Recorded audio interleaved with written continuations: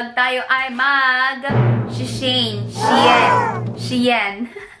Shein haul. At eto na nga, ayan, charan. Karating lang ng order ko. And bumili ako ng kung ano-ano. So, tatry natin and then review natin. Tingnan natin kung maganda. Let's go!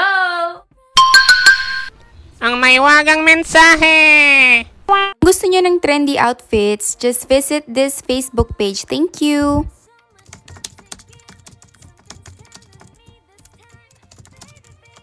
So, ito, yung binili ko, bumili ako ng 10 damit. Ano lang to, um, magkano ba? $76 yata.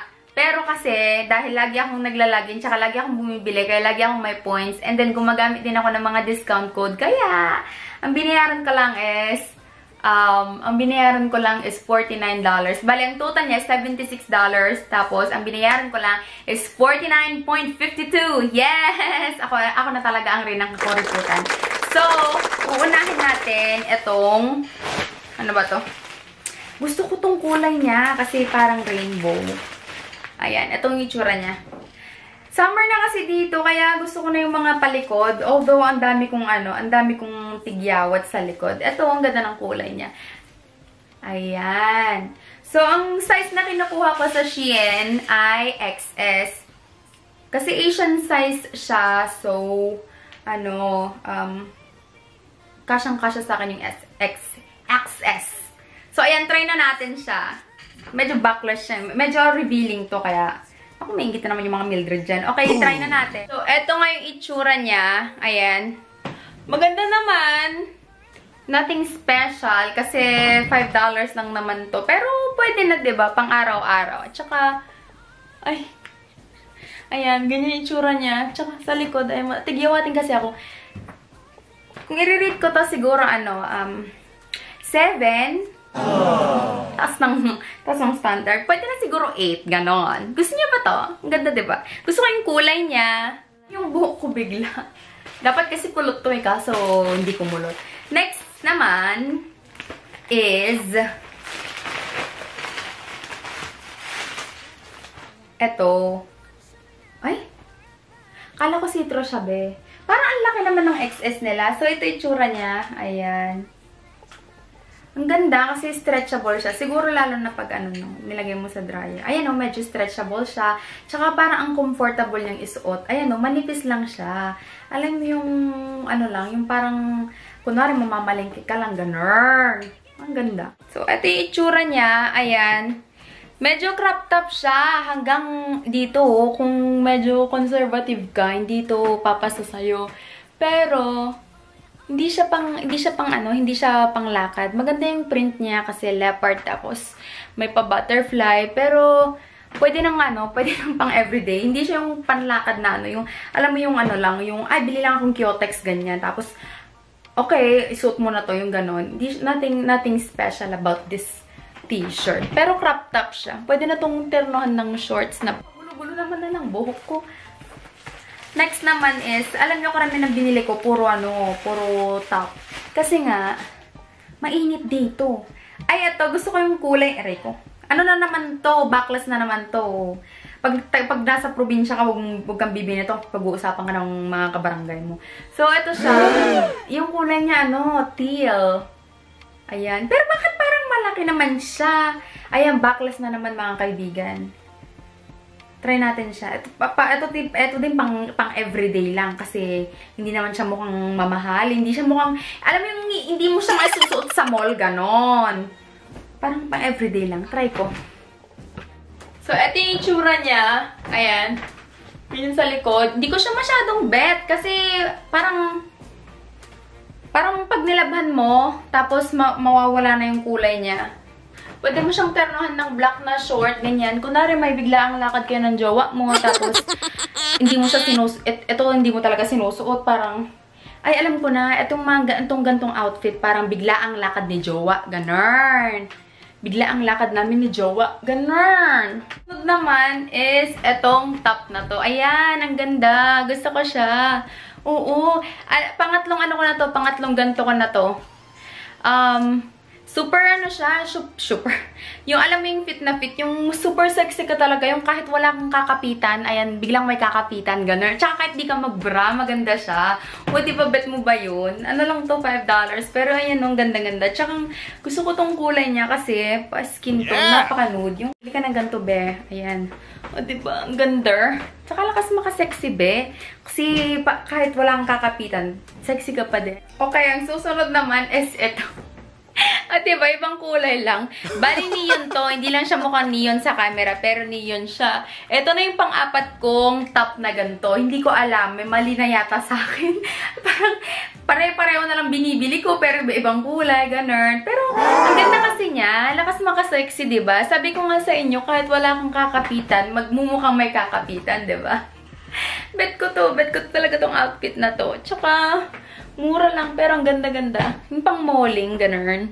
Susunod naman is itong terno siya. Bali, ter bali terno siya.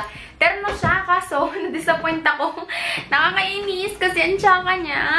Ay, ayoko to kasi may babe siya. May print siyang babe. Eh, ayokong ganyan. Parang nag-attract siya ng magka-catfish sa'yo. Ganun. Alam yun? Pero, ito yung tsura niya. Hindi nyo ba makita? O, ganun. Ganun! Yun, hindi ko siya pet. Pero, pwede na rin pang araw-araw. Hmm, nakakainis. Ang ganda-ganda niya sa picture. Pero, ano talaga siya, expectation versus reality. Hindi ko siya bet. Pero, pwede na din. Ang outfit is itong romper. Romper, eh, whatever you call it. Ano, ito yung napaka-excited ko talaga ma-receive. Tapos, ito siya. May pagkano siya, Bex. May pagka... Hindi ko alam tatawag ko. Pero yung kailangan, parang ano siya, be, palaban, kailangan palaban siya. Tapos, wait lang. Hirap. Tapos, ito tsura niya. Ayan, ganyan itsura niya, be. Sobrang mahaba. Akala ko ganyan siya. Bakit sa picture ang haba-haba? Pero, napaka-comfy niya. At saka, hindi siya makapal. Kaya, ano, yung ka, nakakaso nga lang, kapag ganyan, oo, di ba Kailangan, kailangan talaga may kakapitan. Nakakainis yung ibang damit, no?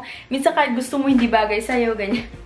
So, eto siya. Um, di ko siya, na-disappoint ako, pero, mm, pwede na, ganun talaga.